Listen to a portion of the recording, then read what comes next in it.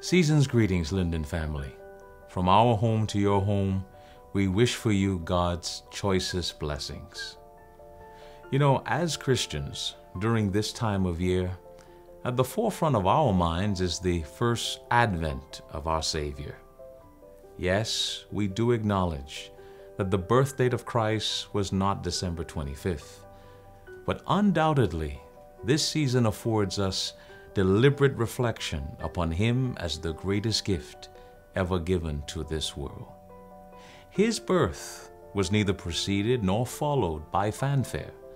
In fact, there were no living quarters to accommodate his delivery, a foretelling of his life on earth.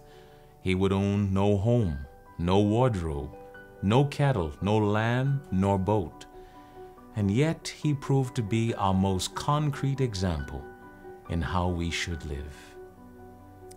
A valuable takeaway to this truth is that we don't need wealth or possessions to impact the lives of others.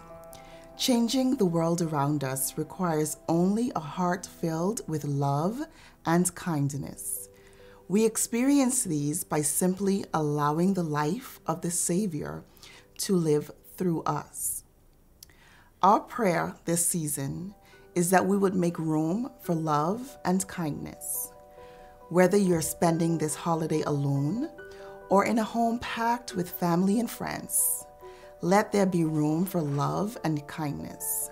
Make space for those who are hurting. Send a thoughtful text.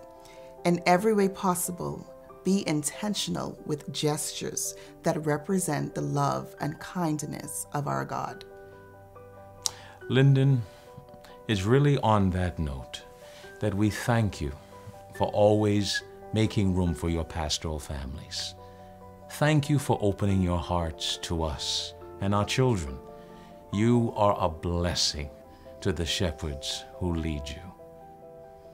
On behalf of Pastor and Sister Dixon, our children, Katie, Zoe, and Caleb, we wish you a heartfelt holiday season.